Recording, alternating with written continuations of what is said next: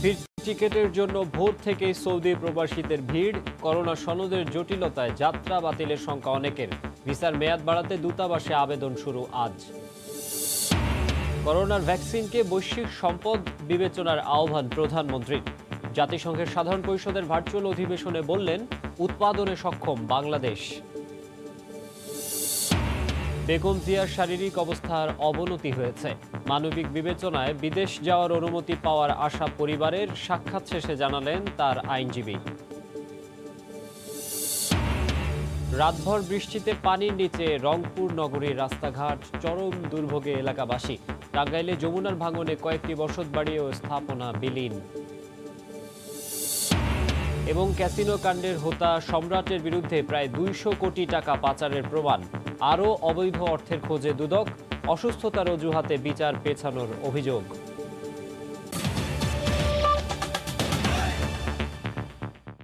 সময় সংবাদের সঙ্গে আছি আমি মাকসু আলম খান। গত কয়েকদিনের মতো আজও ভোর থেকে কারওয়ান বাজারে সৌদি এয়ারলাইন্সের কার্যালয়ের সামনে ভিড় করেছেন সৌদি প্রবাসীরা। আজ দেয়া হবে টোকেনধারী পাঁচশো জনের টিকিট। নতুন করে টোকেন দেয়া হবে চার তারিখ থেকে। যাদের ভিসার মেয়াদ ত্রিশে সেপ্টেম্বর শেষ হবে, তাদেরকে অগ্রাধিকার দিয়ে টিকিট দেওয়া হচ্ছে। যাদের ভিসার মেয়াদ শেষের দিকে বা ইতোমধ্যে শেষ হয়ে গেছে, তারা আজ থেকে সৌদি দূতাবাসে আবেদন শুরু করবেন। তবে কাঙ্ক্ষিত সময়ে টিকিট পাওয়া নিয়ে শঙ্কিত সৌদি প্রবাসীরা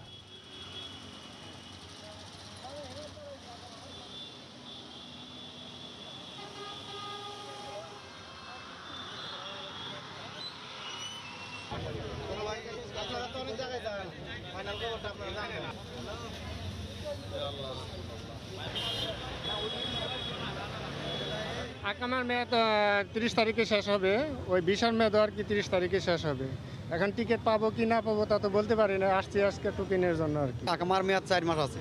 ওই টোকনের কোনো মিলছেই না। তাহলে কি করে আমরা যাওয়ার একটা নির্দিষ্ট কোনো একটা সিদ্ধান্ত পাচ্ছি না। যদি আমাদের এই সঠিক তথ্য পেতাম যে আগামী চার তারিখে আমরা টুকিং পাবো তাহলে আমরা হয়তো চলে যেতাম। দুইটা থেকে আমি এই পর্যন্ত অপেক্ষা করতেছি। সবাই না খাই না দেয় মনে করেন যে এই অবস্থা আছে। এই মুহূর্তে রাজধানীর গুলশানে আছেন আমাদের রিপোর্টার আজহার লিমন। আমরা এখন সরাসরি যোগ দিচ্ছি তার সঙ্গে। লিমন।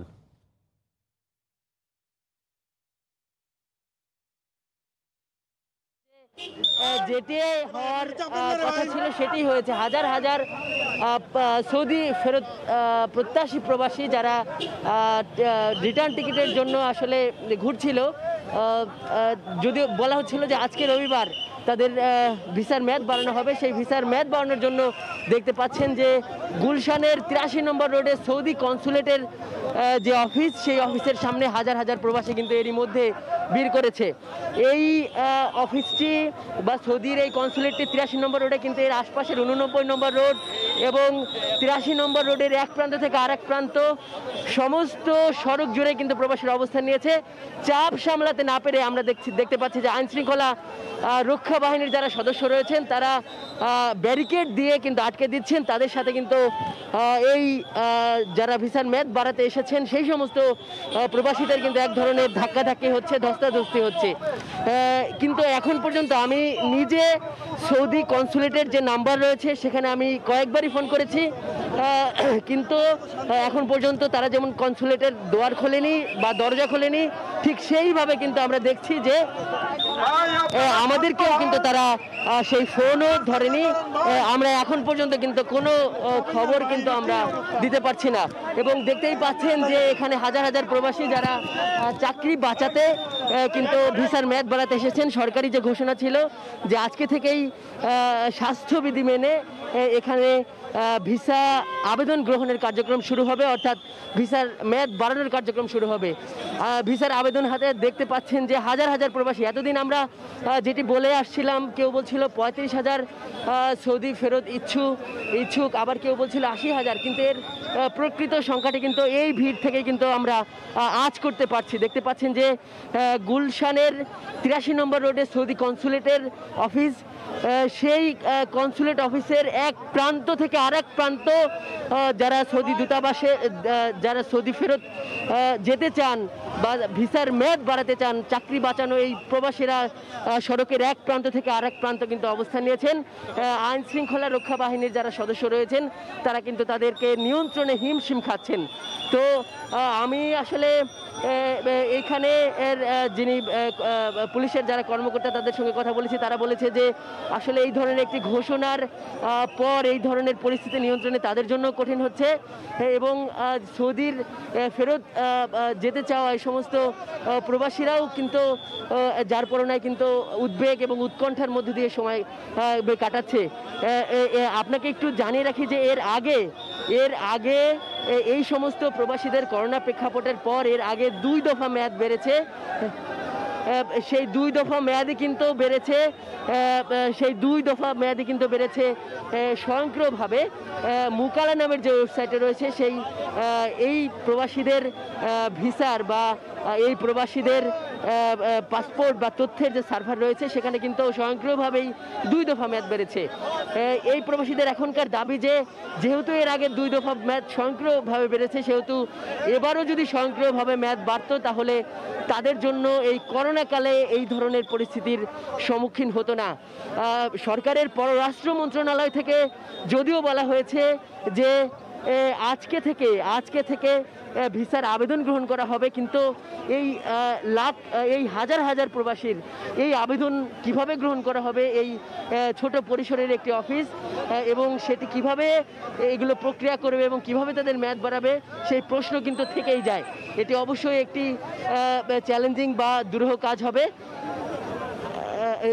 দুরূহ কাজ হবে। আমরা দেখতে পাচ্ছি যে আইন শৃঙ্খলা রক্ষা বাহিনীর সাথে কিন্তু তারা আগাতে চাচ্ছে। আইন শৃঙ্খলা রক্ষা বাহিনী কিন্তু তাদেরকে নিয়ন্ত্রণের চেষ্টা করছে। এইভাবে এক ধরনের ধাক্কা ধাক্কি কিন্তু এই সৌদি কনসুলেটের তিরাশি নম্বর রোডে কিন্তু হয়ে চলছে। দেখছেন যে দেখছেন যে হাজার হাজার যারা সৌদি প্রবাসী তারা কিন্তু এই সড়কে অবস্থান নিয়েছেন এবং তাদেরকে নিয়ন্ত্রণে কিন্তু আইন শৃঙ্খলা রক্ষা বাহিনী কিন্তু সারিবদ্ধভাবে দাঁড়িয়েছে। জানিয়ে রাখি যে তিরিশ তারিখ এর মধ্যে রয়েছে এই তিরিশ সেপ্টেম্বরই ম্যাচ শেষ হয়ে যাচ্ছে বা ছুটির ম্যাচ শেষ হয়ে- যাচ্ছে এরকম হাজার হাজার প্রবাসী এবং এর আশেপাশের ম্যাচেও এর আশেপাশের তারিখেও ছুটি শেষ হয়ে যাচ্ছে এরকমও কিন্তু হাজার হাজার প্রবাসী রয়েছে। প্রবাসীদের দাবি যে এর আগে দুই দফা তাদের সক্রিয়ভাবে ম্যাচ বেড়েছে। তো এখন যে ম্যানুয়ালি বা এই, অফিসে এসে তাদের ভিসা আবেদন করতে বলা হয়েছে এটা কিন্তু কঠিন হবে।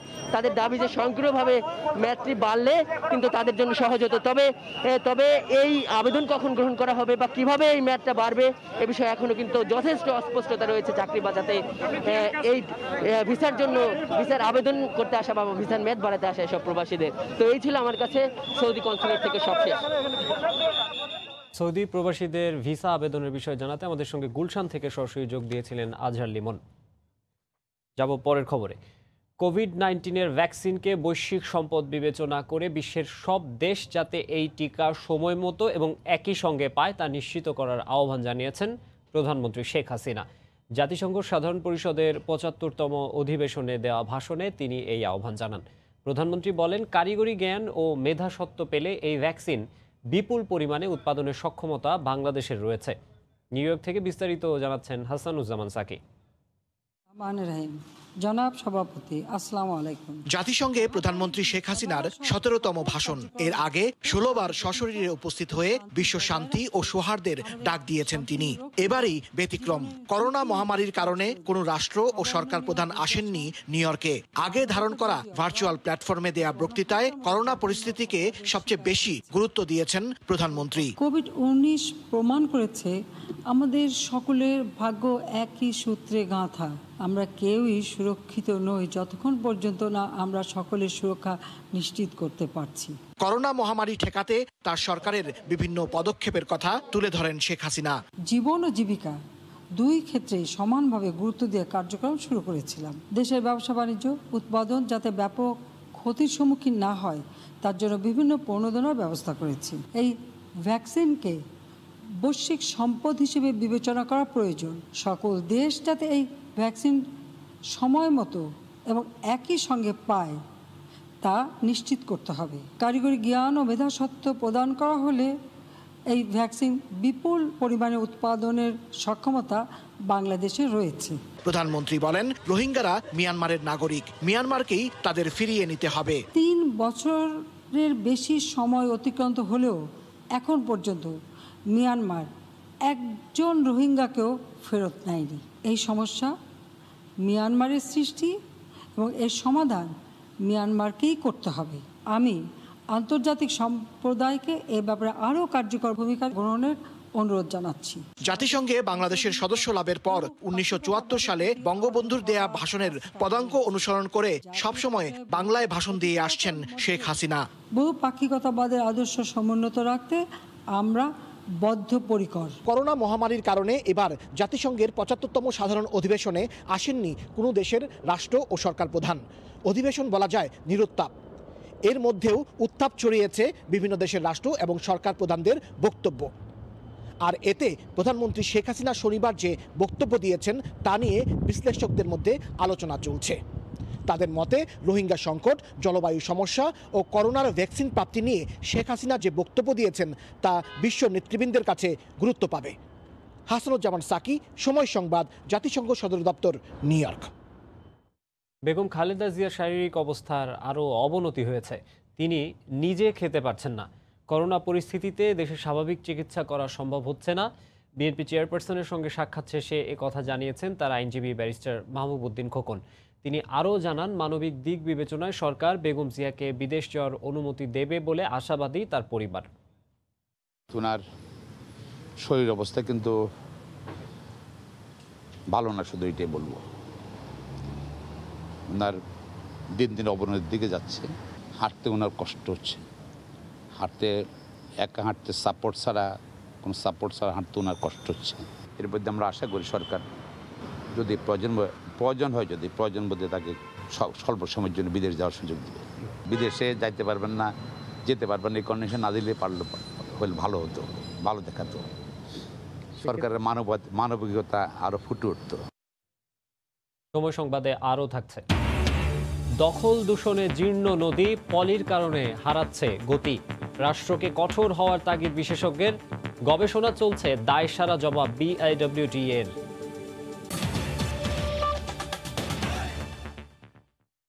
রাতভর ভারী বর্ষণে তলিয়ে গেছে রংপুর নগরীর রাস্তাঘাট। সড়কে জলাবদ্ধতায় ঢাকা রংপুর মহাসড়কেও যানবাহন চলাচল ব্যাহত হচ্ছে। এছাড়া বহু ঘর, বাড়ি, পানি উঠে যাওয়ায় চরমে পৌঁছেছে দুর্ভোগ। শনিবার সন্ধ্যা থেকে ভারী বর্ষণ চলছে, সঙ্গে দমকা হাওয়া বজ্রপাতও হচ্ছে। নগরীর নিচু এলাকাগুলোর পাশাপাশি অনেক উঁচু স্থানও ডুবে যাওয়ায় দুর্ভোগে পড়েন বাসিন্দারা। তারা জানান স্মরণকালের সবচেয়ে ভয়াবহ, উনিশশো আটাশি সালের বন্যায়ও নগরীর প্রধান সড়কে পানি ওঠেনি, কিন্তু এবার এক রাতের বর্ষণেই তা তলিয়ে গেছে। যেমনটা জানাচ্ছিলাম, রাতভর বৃষ্টিতে রংপুর নগরীতে জলাবদ্ধতা সৃষ্টি হয়েছে। এই মুহূর্তে নগরীর স্টেশন রোডে আছেন রিপোর্টার রতন সরকার। বিস্তারিত জানতে সরাসরি যাব তার কাছে। রতন। স্মরণকালের ভয়াবহ, ভারী বর্ষণে এখন কিন্তু সম্পূর্ণটাই তলিয়ে গেছে দেশের উত্তরের সবচেয়ে প্রাচীনতম শহর রংপুর নগরী। আমরা ঠিক যে স্থানটিতে দাঁড়িয়ে আছে, এটি হচ্ছে এই শহরের সবচেয়ে বড় পানি নিষ্কাশনের একমাত্র এবং প্রধানতম খাল শ্যামাসুন্দরী। আমরা যদি একটু দেখি এই শ্যামা সুন্দরী খালকে কেন্দ্র করেই কিন্তু রংপুর শহরের যে এখনকার জলাবদ্ধতা সেটির উৎপত্তি হয়েছে। এখান থেকে সারা শহরের পানি আসলে এই খালটাই খালটি দিয়ে নিষ্কাশনের কথা থাকলেও এই খাল উপচে এখন নগরীর বিভিন্ন পাড়া মহল্লায় ঢুকে পড়ছে। আমরা দেখছি যে ঘরের ভেতর পানি উঠে গেছে। আমরা যদি এই খালের পার্শ্ববর্তী আহ, বাড়ি ঘরের দিকে তাকাই তাহলে বুঝতে পারব যে আসলে এখানে পানি কতটা জলাবদ্ধতা তৈরি করেছে। এই খালটি আসলে সংস্কারের ক্ষেত্রে বহুবার বহু রকমের প্রকল্প হাতে নেওয়া হয়েছে, কিন্তু কোনোবারই আসলে এটির কোনো কাজ হয়নি। খালটি দখল হয়েছে। এটি এক সময় অনেক বড় স্থান দিয়ে প্রবাহিত হলেও আসলে এটি আটোসাটো হয়ে আছে, এসেছে বিভিন্ন দখলদারদের থাবায় যার কারণে আসলে অনেক প্রাচীন এই খালটি এক সময় এটি করা হয়েছিল এই শহরের সম্পূর্ণ পানি নিষ্কাশন এবং মশার হাত থেকে জলাবদ্ধতা নিরসনের লক্ষ্যে এটি শত বছরের প্রাচীন কিন্তু এই খালটি যেটি শহরের আঠারোটি ওয়ার্ড ঘেঁষে কিন্তু এই খালটি প্রবাহিত হয়ে একটি নদীর ওপর পড়েছে। কিন্তু আমরা যদি বলি যে এই শ্যামাসুন্দরী খালই কিন্তু এখন রংপুর নগরীর দুর্ভাগ্যের, দুর্দশার একমাত্র কারণ হয়ে দাঁড়িয়েছে। আমরা যদি দেখি যে স্মরণকালের ভয়াবহতম বন্যা ছিল উনিশশো অষ্টআশি সালে। আমাদের এখানকার প্রবীণ যারা আছেন, তারা বলছেন যে এই এলাকাগুলো সেই অষ্টআশি সালের বন্যাতেও পানি না উঠলেও এখন কিন্তু প্রায় হাঁটু পানিতে কোমর পানিতে এসে কোমর পিনি- পানি এখানে হয়ে দাঁড়িয়েছে। আমরা এই কিছু দূর, কিছু দূরেই রংপুরের কোতোয়ালি থানা, সেটি কিন্তু এখন পানির নিচে নিমজ্জিত হয়েছে। তো মাকসুম, এই ছিল আমার কাছে রংপুরে অতি বর্ষণের ফলে সৃষ্ট জলাবদ্ধতার শেষ খবর। স্বাস্থ্য অধিদপ্তরের হিসেবে করোনায় আক্রান্ত হয়ে দেশে শনিবার দুপুর পর্যন্ত চব্বিশ ঘন্টায় ছত্রিশ জন মারা গেছেন। নতুন শনাক্ত হয়েছেন এক হাজার একশো ছয় জন রোগী। এ নিয়ে দেশে মোট রোগীর সংখ্যা তিন লাখ সাতান্ন হাজার আটশো তিয়াত্তর জন। দেশে একদিনে নমুনা পরীক্ষা করা হয়েছে দশ হাজার সাতশো পঁয়ষট্টি জনের। এ পর্যন্ত মোট নমুনা পরীক্ষা করা হয়েছে আঠারো লাখ আটানব্বই হাজার সাতশো পঁচাত্তর জনের। গত চব্বিশ ঘন্টায় নতুন করে এক হাজার একশো ছয় জনের দেহে করোনা শনাক্ত হয়েছে। এ নিয়ে মোট আক্রান্ত তিন লাখ সাতান্ন হাজার আটশো তিয়াত্তর জন। গত চব্বিশ ঘন্টায় মারা গেছেন ছত্রিশ জন। এ পর্যন্ত করোনা আক্রান্ত হয়ে মারা গেলেন পাঁচ হাজার একশো উনত্রিশ জন। করোনা থেকে চব্বিশ ঘন্টায় সুস্থ হয়েছেন এক হাজার সাতশো তিপ্পান্ন জন। মোট সুস্থ হয়েছেন দুই লাখ আটষট্টি হাজার সাতশো সাতাত্তর জন। যুবলীগের বহিষ্কৃত নেতা সম্রাটের বিরুদ্ধে সিঙ্গাপুর ও মালয়েশিয়ায় একশো পঁচানব্বই কোটি টাকা পাচারের প্রমাণ পেয়েছে সিআইডি। সম্রাটের আরও অবৈধ অর্থের খোঁজে অনুসন্ধান চালাচ্ছে সংস্থাটি। এদিকে বারবার অসুস্থতার কথা বলে সম্রাট বিচার প্রক্রিয়া বিলম্বিত করছে বলে অভিযোগ রাষ্ট্রপক্ষের। তবে আসামির আইনজীবীর দাবি, জীবন মৃত্যুর সঙ্গে পাঞ্জা লড়ছেন সম্রাট। ইকরাম হুসাইনের রিপোর্ট। রাজনীতির মাঠে আলোচিত সমালোচিত। ক্যাসিনো কাণ্ডে উন্মোচিত হয় মুখোশ, বেরিয়ে আসে থলের বিড়াল, বিশাল সাম্রাজ্যে আইন শৃঙ্খলা বাহিনীর হানা, আইনের হাতে বন্দি সম্রাট। মাথার উপর বেশ কয়েকটি মামলা, অস্ত্র, মাদক মানি লন্ডারিংয়ের বহু অভিযোগ। গ্রেফতারের পর বেশিরভাগ সময় কাটিয়েছেন হাসপাতালে, এখনও আছেন চিকিৎসাধীন। রাষ্ট্রপক্ষের অভিযোগ, বারবার অসুস্থতার কথা বলে বিচার প্রক্রিয়া বিলম্বিত করছেন সম্রাট। যদিও আসামি পক্ষের আইনজীবী বলছেন, ইসমাইল চৌধুরী গুরুতর অসুস্থ। যেহেতু আদালতে যাচ্ছে না না যাওয়ার কারণে তো বিচার শুরু হচ্ছে না। আসামের উপস্থিতি থাকা দরকার। এক্ষেত্রে সেটা হচ্ছে না। হাসপাতাল কর্তৃপক্ষ তারাই ভালো বলতে পারবে। এবং তারা সেভাবে যদি আদালতে কোনো মেডিকেল রিপোর্ট যদি পাঠায় যে তার এই সমস্যা, তাহলে সেটা আদালত বিবেচনা করবে। কিন্তু যদি বিনা কারণে যদি হাসপাতালে থাকে বা যদি সুস্থ অবস্থায় হাসপাতালে থাকে তাহলে তো এটা ন্যায়সঙ্গত না। ক্লায়েন্ট প্রচণ্ড অসুস্থ জীবন মৃত্যুর সাথে সে লড়াই করতেছে। একটা মানুষ মৃত্যু সজ্জায় আর রাষ্ট্রপক্ষ কি বলতেছে সেটা তো রাষ্ট্রপক্ষ বলতে পারবে।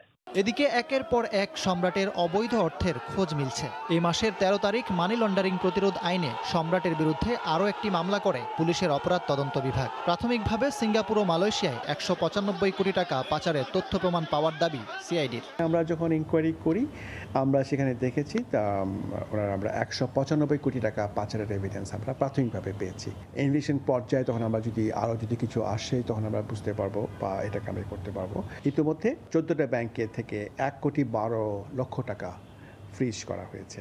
অস্ত্র ও মাদক মামলায় সম্রাটের বিরুদ্ধে অভিযোগপত্র দেয়া হয়েছে। পুলিশ সেন্টারে যে মামলা আছে ইকরাম হুসাইন সময় সংবাদ। দখল এবং দূষণের পাশাপাশি অপরিকল্পিত খননের কবলে পড়ে মাত্র দুই দশকে অর্ধেকের বেশি ভরাট হয়ে গেছে দেশের অর্থনীতির প্রাণ প্রবাহ চট্টগ্রামের কর্ণফুলী নদী। শাহ আমানত সেতু পয়েন্টে আটশো ছিয়াশি মিটারের স্থলে নদী এখন অর্ধেকে নেমে এসেছে। এর ফলে নাব্য হারিয়ে চট্টগ্রাম বন্দর চরম ঝুঁকির মুখে। টিপুর ক্যামেরায় বিস্তারিত জানাচ্ছেন কমল দে।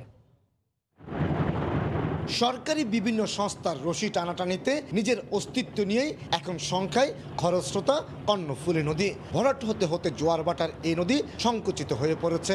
সাম্প্রতিক এক জরিপে দেখা গেছে বিভিন্ন পয়েন্টে এই নদীর প্রস্থ অর্ধেকে নেমে এসেছে। ফলে নদীর দক্ষিণ অংশে তীব্র স্রোতের সৃষ্টি হয় ঝুঁকির মধ্যে পড়েছে শাহ আমানত সেতু। আমরা যেখানে দাঁড়িয়ে আছি এটা কিন্তু কর্ণফুলির তীর নয়। আমাদের এখান থেকে আরও দেড়শো মিটার দূরে। ওটা হচ্ছে কর্ণফুলীর সীমানা। তার মানে এটা বন্দর সীমানা নির্ধারণ করে দিয়েছে একশো ফুট ভিতরে এসে। উনিশশো সাতানব্বই সালে শেষ হওয়া এডিবি মাস্টার প্ল্যানে শাহমানত সেতু পয়েন্টে নদীর প্রস্থ আটশো ছিয়াশি দশমিক এক ছয় মিটার উল্লেখ করা হয়েছে। কিন্তু বর্তমান জরিপে তা চারশো দশ মিটারে নেমে এসেছে। কীভাবে? রাজাখালী খাল পয়েন্টে আটশো আটানব্বই মিটারের পরিবর্তে চারশো একষট্টি মিটার চাকতাখাল পয়েন্টে নশো আটত্রিশ মিটারের স্থলে বর্তমানে মাত্র চারশো ছত্রিশ মিটার প্রস্থ। চর জেগেছে, কর্ণফুলী নদীতে এনক্রোচমেন্ট হচ্ছে। এবং এনক্রোচমেন্টের মধ্যে বন্দর কর্তৃপক্ষ নিজেও জড়িত। এটি যদি চলতে থাকে, তাহলে ডাউন স্ট্রিমে এসে সামান ব্রিজ হুমকির মুখে পড়তে পারে। নদীর নাব্য রক্ষায় গত এক বছর ধরে কয়েকটি পয়েন্টে ড্রেজিংয়ের কাজ করছে চট্টগ্রাম বন্দর কর্তৃপক্ষ কিন্তু খননের পরও বাড়ছে না প্রস্ত নাব্য সংকট সত্ত্বেও চট্টগ্রাম বন্দর নদীর এক লাখ তিয়াত্তর হাজার বর্গফুট জায়গা লিজ দিয়েছে বলে অভিযোগ বিশেষজ্ঞদের। দায়িত্বশীল কর্তৃপক্ষরা কিন্তু এখানে দায়িত্বহীনতার নির্লিপ্ততার অপেশাদারিত্বের পরিচয় দিচ্ছে চরমভাবে পরমভাবে এবং এটা কোনোভাবেই গ্রহণযোগ্য নয়। এদিকে কর্ণফুলী নদীর দুতীরে দু হাজার একশো বারোটি অবৈধ স্থাপনা চিহ্নিত করেছিল জেলা প্রশাসন। এসব স্থাপনা উচ্ছেদে সুস্পষ্ট নির্দেশনা রয়েছে উচ্চ আদালতের, কিন্তু রহস্যজনক কারণে উচ্ছেদ অভিযান বর্তমানে বন্ধ রয়েছে। লুসাই পাহাড় থেকে নেমে আসা কর্ণফুলী নদীর তীরে গড়ে উঠেছে দেশের প্রধানতম এই সমুদ্র বন্দর। কর্ণফুলী নদীর কোনো সমস্যা হলে ক্ষতিগ্রস্ত হবে এই চট্টগ্রাম বন্দর। আর তাই এ বন্দরকে সচল রাখার জন্য প্রয়োজন হয়ে পড়েছে কর্ণফুলীকে বাঁচিয়ে রাখা। কর্ণফুলী নদী থেকে কমল দে দেখছেন সময় সংবাদ। বিশ্বের দীর্ঘতম সমুদ্র সৈকত, পাহাড়, প্রবাল দ্বীপ, মেরিন ড্রাইভ ও অপরূপ প্রকৃতি। কি নেই? দেশের পর্যটনের সবচেয়ে সম্ভাবনার জেলা কক্সবাজার। প্রতি বছর লাখ লাখ পর্যটক এখানে ছুটে আসেন, কিন্তু বছরের পর বছর ধরে দেশি বিদেশি পর্যটকদের আকৃষ্ট করতে বিনোদনের কোনো ধরনের অবকাঠামো গড়ে ওঠেনি। শুধু তৈরি হচ্ছে অপরিকল্পিতভাবে হোটেল, মোটেল আর রিসর্ট। বিস্তারিত জানাচ্ছেন সুজাউদ্দিন রুবেল। বিশ্বের দীর্ঘতম সমুদ্র সৈকত, স্বচ্ছ নীল জলরাশি। বিশাল বিশাল ঢেউ আছড়ে পড়ছে বালুকাময় সৈকতে। সৈকত দেখতে ছুটে আসেন হাজার হাজার পর্যটক। মেতে ওঠেন সৈকতের নীল জলরাশিতে।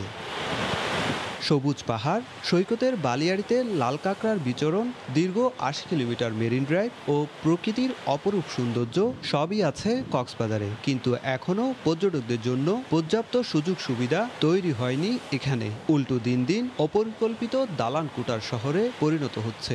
বিচ হোটেল বা প্রাকৃতিক সৌন্দর্য এগুলো ছাড়া কক্সবাজারে রাত্রিকালীন যে বিনোদনটা প্রয়োজন সেটা আর কি আমরা পাচ্ছি না। রাত সাড়ে দশটায় রওনা দিয়েছি এসেছি সকাল দশটায়। এটা আসলে খুব খারাপ অবস্থা। অবকাঠামোগত সুযোগ সুবিধা তৈরি না হওয়ার পেছনে পর্যটন কর্পোরেশনকে দুষছেন ব্যবসায়ীরা। রাস্তাঘাট যে ইনফ্রাস্ট্রাকচারগুলো ডেভেলপমেন্ট হওয়ার কথা শিশু পার্ক থেকে শুরু করে আদার্স যে জিনিসগুলো ট্যুরিস্ট এন্টারটেনমেন্টের জন্য যে বিষয়গুলো থাকা দরকার যে ব্যবস্থাগুলো থাকা দরকার ওগুলো কর্তৃপক্ষ ব্যবস্থা নিচ্ছে না। জেলা প্রশাসক জানালেন পর্যটনকে বিকশিত করতে সরকারের নানা কর্মযজ্ঞ চলছে। বিমানবন্দর আন্তর্জাতিক হচ্ছে আমাদের রেল লাইন হচ্ছে এগুলো পর্যটনকেই বিকশিত করবে। সুতরাং সরকারের নানামুখী পরম- কর্মযজ্ঞ কিন্তু এখন চলমান রয়েছে। প্রতি বছর এখানে ভ্রমণে আসেন পনেরো লাখের বেশি ভ্রমণ পিপাসু সুজাউদ্দিন রুবেল সবাই সংবাদ কক্স টাঙ্গাইলে বঙ্গবন্ধু সেতুর দ্বিতীয় রক্ষা গাইড বাঁধসহ বেশ কয়েকটি বাড়ি ও পাকা স্থাপনা নদীগর্ভে বিলীন হয়েছে। ভুক্তভোগীরা জানিয়েছেন, গতকাল রাতে হঠাৎ করে তীব্র ভাঙন দেখা দেয় সেতু রক্ষা দ্বিতীয় বাঁধের এই এলাকায়। এতে বাঁধের একাংশ ও কয়েকটি স্থাপনা ভেঙে যায়। সকালে বাংলাদেশ সেতু কর্তৃপক্ষ ঘটনাস্থল পরিদর্শনে আসলেও কোনো ব্যবস্থা নেয়ার কথা জানায়নি তারা। বাঁধ নির্মাণের ছয় মাসের মধ্যে ভেঙে যাওয়ায় আতঙ্কিত হয়ে পড়েছে এলাকাবাসী।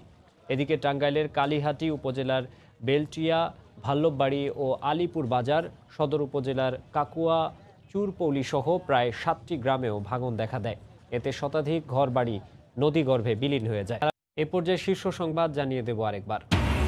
ভিসার মেয়াদ বাড়াতে সৌদি দূতাবাসে হাজার হাজার প্রবাসীর ভিড়, ফিরতি টিকিটের জন্য ভোর থেকে দীর্ঘ লাইন। নানামুখী জটিলতায় কাজে ফেরা নিয়ে শঙ্কায় অনেকে। করোনার ভ্যাকসিনকে বৈশ্বিক সম্পদ বিবেচনার আহ্বান প্রধানমন্ত্রীর। জাতিসংঘের সাধারণ পরিষদের ভার্চুয়াল অধিবেশনে বললেন, উৎপাদনে সক্ষম বাংলাদেশ। এবং রাতভর বৃষ্টিতে পানির নিচে রংপুর নগরীর রাস্তাঘাট, চরম দুর্ভোগে এলাকাবাসী। টাঙ্গাইলে যমুনার ভাঙনে কয়েকটি বসত বাড়ি ও স্থাপনা বিলীন। এই ছিল এখনকার মতো, সঙ্গেই থাকুন সময়ের।